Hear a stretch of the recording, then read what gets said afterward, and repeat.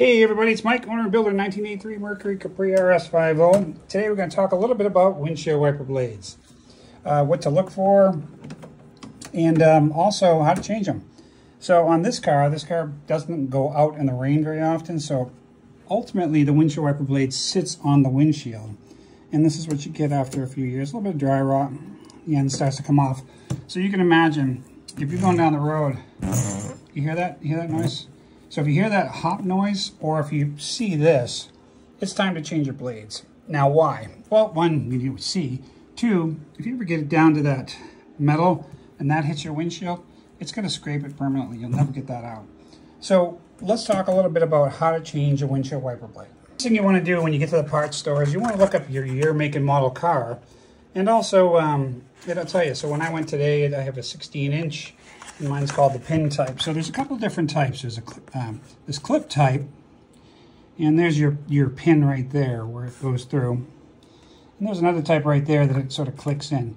So this one is a multi-functional windshield wiper blade.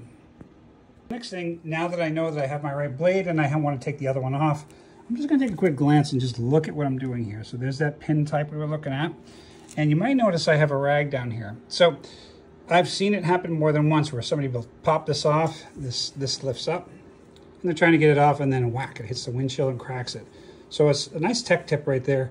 Put down a towel before you start.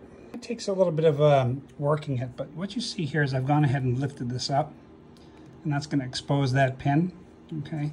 Now I'm just gonna slide off the windshield wiper blade. And where that rag is underneath there so it doesn't uh, hurt the windshield.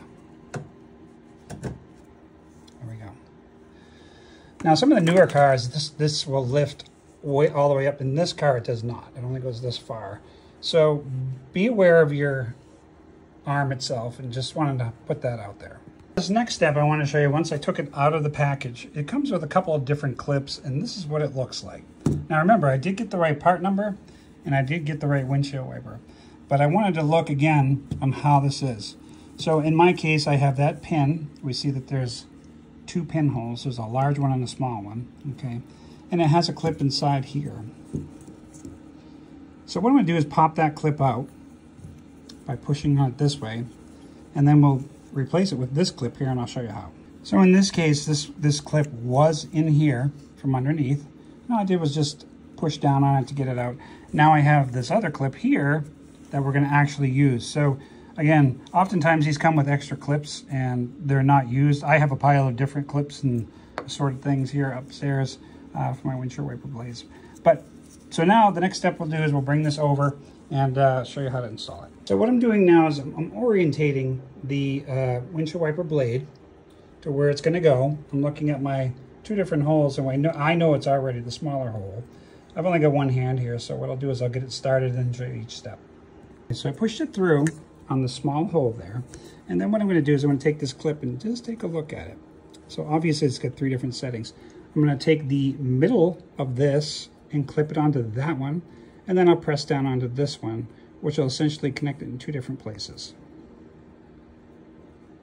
Okay, so when I left off, what I did here is I ended up putting that clip in the center, and which left it open uh, like this. So when we first got this, that clip was on there, and I just popped that one on, on the rotating assembly in the center. And I'm going to tell you right now, sometimes in the cold weather, like we are right now, that's hard to do. I actually walked over a little space heater and got it warmed up, but it did clip on there, and this is important. Another thing, our Fox body friends, is um, you may notice that this is lifted. And that's because there's a little clip here down here. So you lift up on the arm on the Fox bodies, pull out that little pin and that'll hold this up for you. Uh, it's not like that on all other cars. All right. So now we're going to go in one and two. And then the idea is we're to push down on this until we hear it click. All right, so now I can remove my rag because we have our windshield wiper blade that's been replaced. Uh, remember a couple things. So there's the, the center of the windshield wiper blade post is in there. So the clip went there and the post went through. Push this down, and again, it was hard because um, I'm in freezing cold weather. Uh, we have a Fox body here, so we know that we can sort of lift this up, press that down. There you go. So so remember, a couple things. I always do both sides just for safety.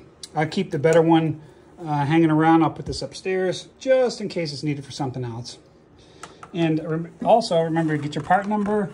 Know that there's a couple different ways to do this.